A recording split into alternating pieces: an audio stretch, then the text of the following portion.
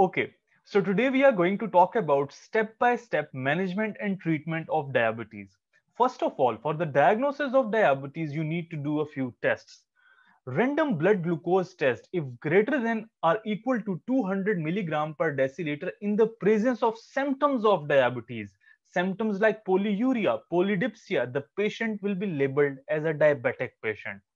Or if the fasting blood glucose test is greater than or equal to 125 milligram per deciliter on at least two separate occasions, the patient will be labeled as a diabetic patient. Or glycosylated hemoglobin, HbA1c, if it is greater than or equal to 6.5%, the patient will be labeled as a diabetic patient. When you have diagnosed a patient with diabetes mellitus, now you have to begin with the treatment. The treatment of diabetes always begins with the first line therapy. The first line therapy is lifestyle modification. In lifestyle modification, what you do is you ask the patient to do at least 30 minute exercise every day.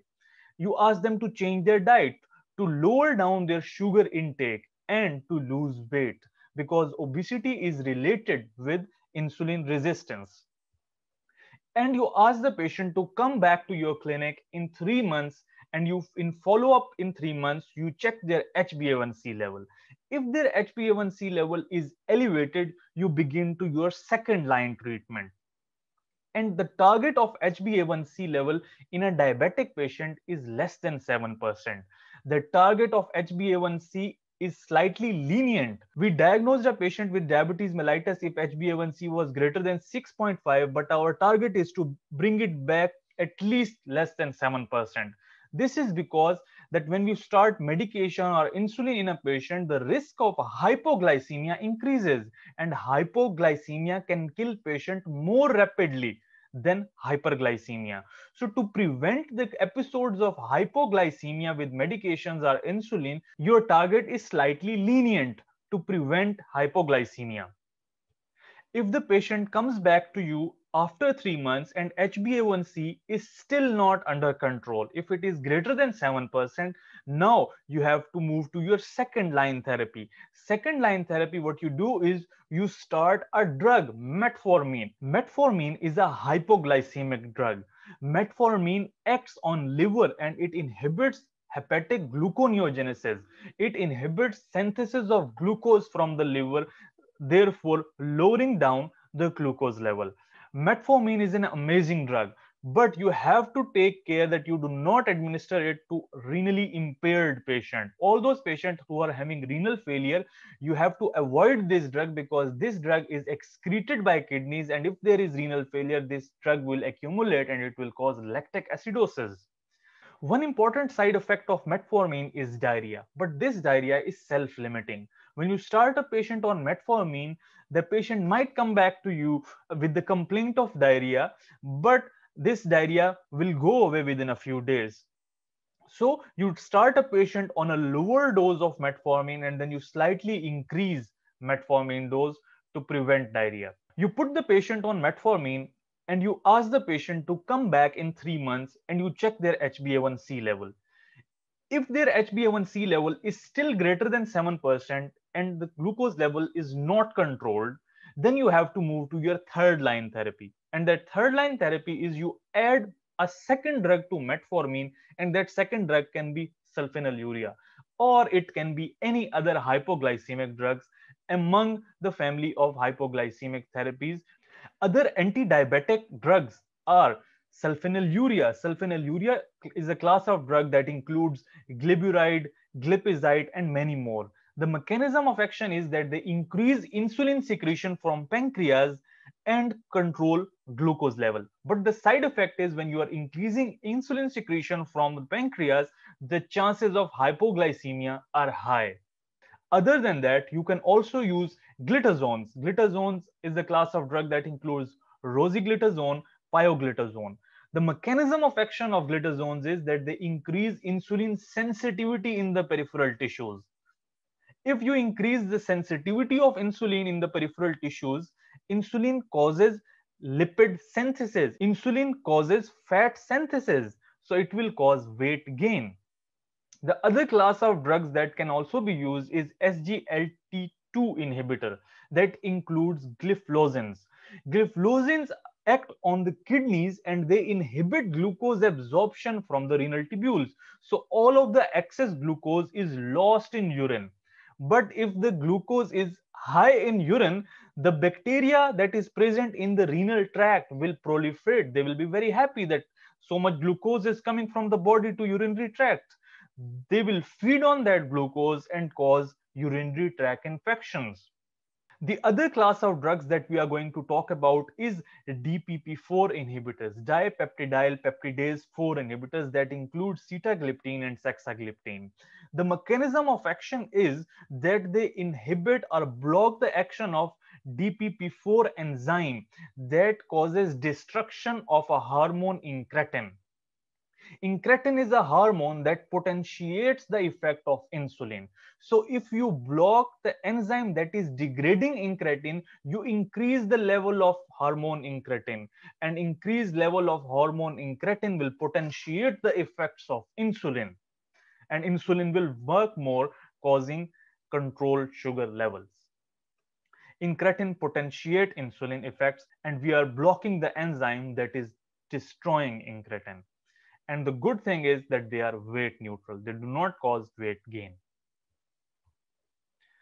Now you added a second drug to the patient, either it was sulfonylurea or any drug among these. You ask the patient to come back in three months and you check their HbA1c level.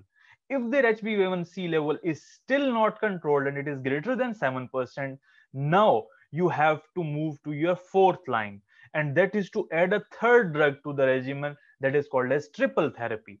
You can pick any of the above drugs according to the patient. You pick a drug and you add it to the regimen, be it DPP4 inhibitors or be it SGL2 inhibitors.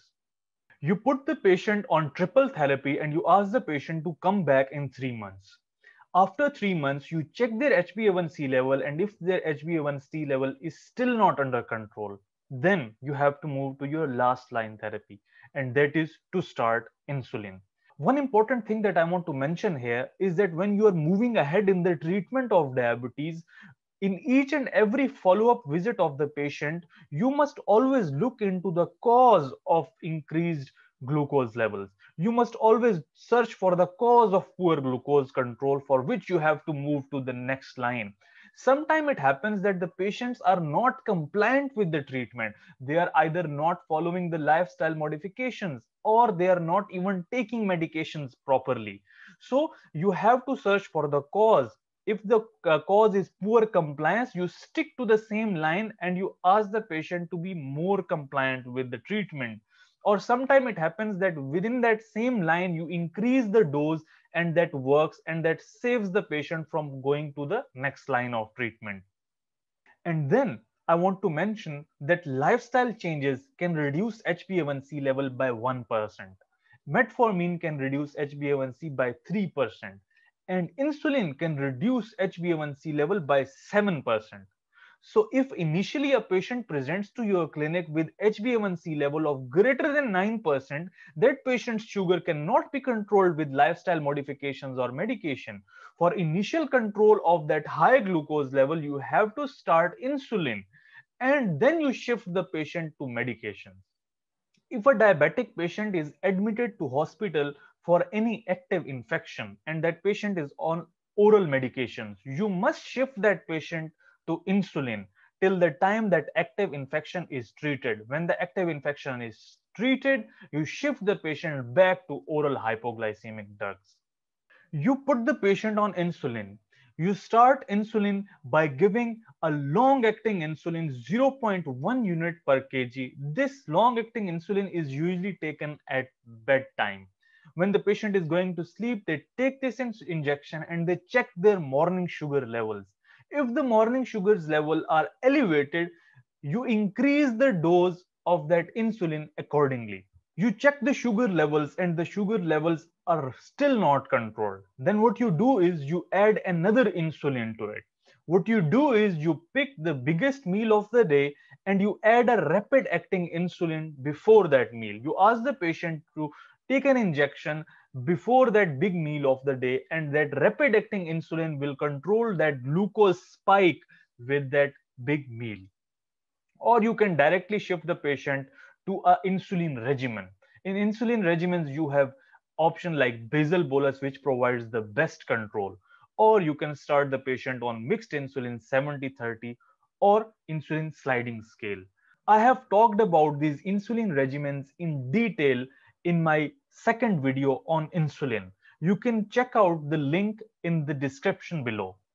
In summary, when you have diagnosed a patient with diabetes, you start with lifestyle modification. If it is not controlled, you start metformin. If it is still not controlled, you check HbA1c level, it is greater than 7%. You add a second drug to metformin, mostly sulfonylurea.